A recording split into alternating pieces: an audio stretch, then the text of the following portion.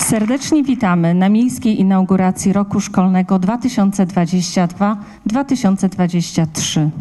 Dzisiejszą uroczystość poprowadzą nauczyciele Szkoły Podstawowej nr 6 Ewa Wiśniewska. I Magdalena Kraszczyńska-Pudnicka.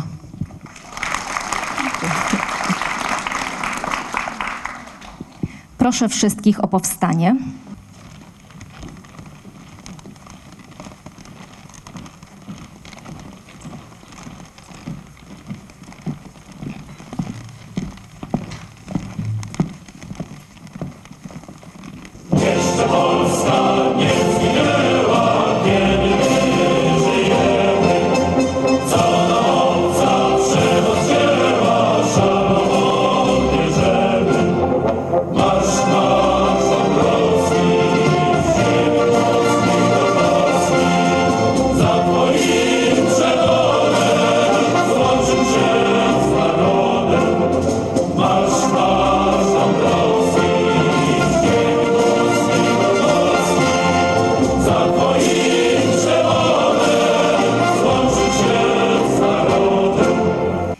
Mamy wrzesień, a jeszcze nie tak dawno zebraliśmy się, aby podsumować pracę w minionym roku szkolnym, podziękować, pożegnać się z absolwentami. Dziś, po dwumiesięcznej przerwie, opaleni, wypoczęci i zrelaksowani, rozpoczynamy nowy rok szkolny. Kolejny rok nauki i ciężkiej pracy, zdobywania wiedzy i nowych doświadczeń. Kolejny rok poznawania otaczającego nas świata, rozwijania zainteresowań, poszukiwania dalszej drogi rozwoju. Na pewno będzie to wyjątkowo udany rok. Należy jednak pamiętać, że był taki wrzesień, kiedy szkoły nie doczekały się uczniów. 1 września 1939 roku rozpoczęła się II wojna światowa. Hitlerowskie Niemcy zaatakowały granice Polski. Nie zapominamy o tych Polakach, którzy w tamtym okresie oddali życie za ojczyznę. Bronili honoru Polski, wpisali się w karty naszej historii wielkością i sławą. To dzięki nim żyjemy dzisiaj w pokoju. Mamy nadzieję, że nasi sąsiedzi, Ukraina, również niebawem doczeka dnia, kiedy ich dzieci i młodzież będą mogły wrócić do przedszkoli, szkół, uczelni w wolnym kraju. To bardzo miło. Jest możliwość e, rozpocząć e, inaugurację kolejnego roku szkolnego. Po ostatnich doświadczeniach wiemy, że to już e, nie zawsze musi, może być tak normalne. Niemniej jednak dzisiaj uroczystość, nowy rok szkolny przed nami 2022-2023. No co, wakacje mają to do siebie zawsze, że szybko mijają. Zawsze się długo na nie czeka, szybko mijają. Zresztą sam pamiętam, jako młody człowiek, jeszcze jak szkoła podstawowa była, to człowiek oczekiwał na tą szkołę, ale później już było różnie. Te wakacje zawsze wydawały się zbyt krótkie. Mam nadzieję, że tak jak panie tutaj mówiły, wakacje były na tyle słoneczne i, i optymalne, że dzisiaj wszyscy wracamy z jakimś jednak naładowanym akumulatorem i chcemy, żeby ten rok szkolny optymalnie e, wykorzystać, możliwie najwięcej posiąść wiedzy. Przed nauczycielami na pewno trudna, trudny czas, e, przed uczniami duże wyzwania. Niemniej jednak, e, tak jak co roku, mam nadzieję, że e, wszyscy, wszyscy tutaj mamy jeden cel, osiągnąć jak najlepsze wyniki.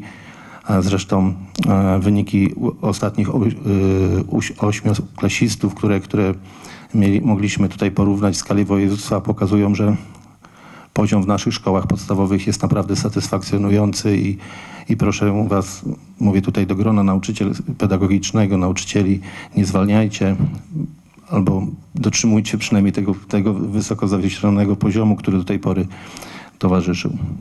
My jako organ e, prowadzący wspólnie z KCUW e, mieliśmy czas na to, żeby dokonać w szkołach większych, mniejszych remontów i tutaj te wszystkie zadania, które zostały postawione przed e, obsługą oświaty zostały wykonane, także zdaję sobie sprawę z tego, że tyle, co mogliśmy zrobić w tych trudnych czasach, jeżeli chodzi o sytuację finansową, to, to, to po prostu tych środków przeznaczyliśmy. Nie będę mówił o tym, że subwencja jest za mała, bo wszyscy o tym wiemy. Nie będę mówił o inflacji czy o, o tej sytuacji ekonomicznej, która przytłacza nas wszystkich i prywatnie, i, i tutaj jako organ prowadzącym, no bo chyba nie czas i pora, ale przecież wszyscy jesteśmy świadomi tego, co tutaj wokół się dzieje. E, No cóż, jako kilka takich danych, żebyśmy sobie uzmysłowili do szczecineckich e, szkół, których, dla których jesteśmy organem prowadzącym. E, Dzisiaj rozpoczyna edukację 2914 uczniów, a wszystkich w ogóle w szkołach podstawowych w Szczecinku to jest 4403 osoby, które będą uczęszczały do e, szkół podstawowych. Nauczyciele, którzy obsługują, mówię teraz o tej części, mm, której, dla której organem prowadzącym jest miasto Szczecinek, to jest 200, 293, także w większości to są nauczyciele e, z e, już dyplomowani, czyli z tym największym stopniem e, wprowadzenia nauczycielskiego. Jeżeli chodzi o tą, też Panie mówiły o sytuacji za wschodnią granicą, o tym też trzeba wspomnieć i powiedzieć. E, W szczecineckich szkołach dzisiaj e, znalazło miejsce na swoją edukację 94 osoby. W szczecineckich przedszkolach 40, 42 osoby, dwu- 42 dzieci e, będzie, też będzie miało zabezpieczoną opiekę przedszkolną. Także z, z naszej strony jako samorządu też pokazujemy, że, że, że jesteśmy przygotowani do tego, żeby, żeby, żeby po prostu wyjść naprzeciw i, i pomagać w tej trudnej sytuacji naszym sąsiadom. No cóż, to takie dane. Przed nami nowy rok. Życzę wszystkim tutaj zgromadzonym na tym sali wytrwałości, dużo satysfakcji z pracy, wszystkiego dobrego. No, są trudne czasy. Słuchajcie, jako organ samorządowy zrobię dosłownie wszystko, żeby, żeby, żeby ten poziom nauczania, żeby wasze warunki, że wasze wynagrodzenia, które mam nadzieję, że w końcu się doczekacie tych 2800 albo 2000, nie, 6900, co ja mówię, powiedziałem prawdę na początku, e, że, że się w końcu doczekacie tych 6800 czy tam 6900, no nie? także, także e, tak to jest, jak się chce powiedzieć, jak się nie umie kłamać po prostu. E, To tyle, tak, e, z takim e, może uśmiechem, z przekąsem na koniec, ale życzę wam wszystkim powodzenia. Dziękuję. Sentimental, on peut le dire. Un peu de buée dans les yeux. À chacun de mes sourires. Et si cette vie n'était qu'un jeu Et si on s'est moqué de nous Pourquoi les gens sont si sérieux Si Dieu existe, elle s'en fout Toi et moi, des animaux fragiles. Et cette planète n'est qu'une île. Elle-même perdue dans les étoiles.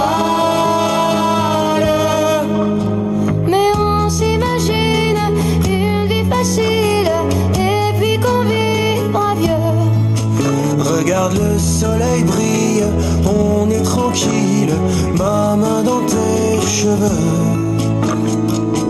Entre les rires et la tristesse Cette vie nous aura à l'usure Faut profiter de sa jeunesse, sans jamais détruire son futur. On me dit de bien me